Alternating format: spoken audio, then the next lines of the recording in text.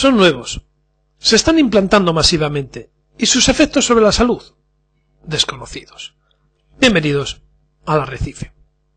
Los contadores de telegestión, contadores digitales que sustituyen a los antiguos analógicos, son capaces de enviar la lectura de contador a la compañía eléctrica sin necesidad de que un operario anote su lectura.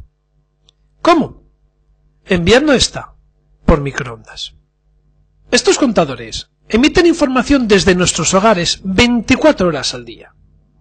Con estos nuevos aparatos, les dicen a la compañía eléctrica cuánto consumimos, a qué hora y durante cuánto tiempo.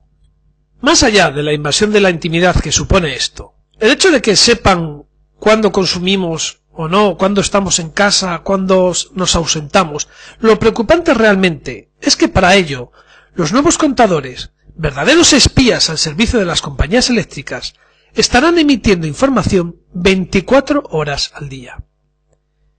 Y peor, para ello, utilizan tecnología de radiotransmisión electromagnética. Se calcula que cada contador de la luz emite el equivalente a 40 routers Wi-Fi. Hay que imaginarse lo que supone que en un edificio emitan a la vez decenas de estos aparatos. En el caso de las grandes ciudades, millones de ellos a la vez. Consecuencias desconocidas.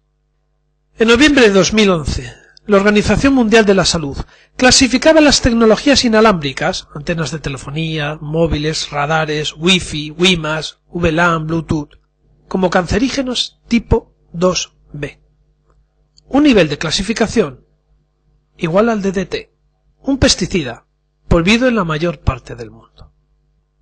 Estos aparatos utilizan tecnología WiMAX, método de transmisión de datos que utiliza ondas de radio con frecuencias de entre 2,3 y 3,5 GHz.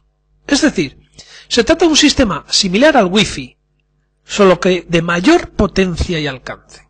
Además, si ya teníamos poco con las antenas de telefonía móvil, ahora tendrán que instalar más, nuevas torres que recojan la señal de estos aparatos para que puedan ser reenviadas a las compañías eléctricas. Y esto no acaba aquí. Las compañías suministradoras de gas se plantean adoptar este sistema.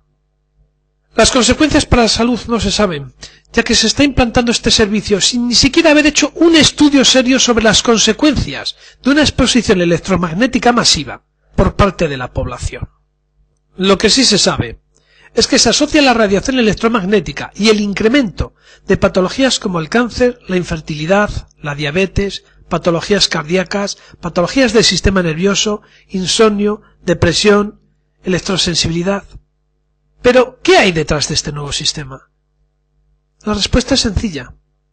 La codicia de las compañías eléctricas.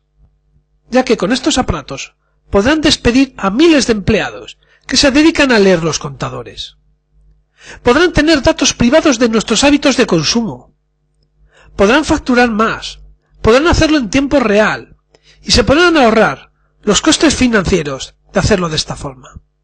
Es decir, detrás de nuestra salud, una vez más, se encuentra el dinero, como ya ha sucedido con la industria tabaquera o la industria de telecomunicaciones. Pero, ¿qué podemos hacer para evitar esto? Si se implanta masivamente, nada podemos hacer. Por lo que lo más efectivo es negarse a que nos instalen estos aparatos. Y para ello todo el mundo tiene que enterarse. Tiene que haber una respuesta social. Si quieres evitar esto, pasa esta información a tu entorno, cuélgala en tu muro de Facebook, envíala por mail, colabora para que todos se enteren de lo que esta gente está tramando. Porque lo peor de todo es que la mayoría de nosotros no lo sabíamos.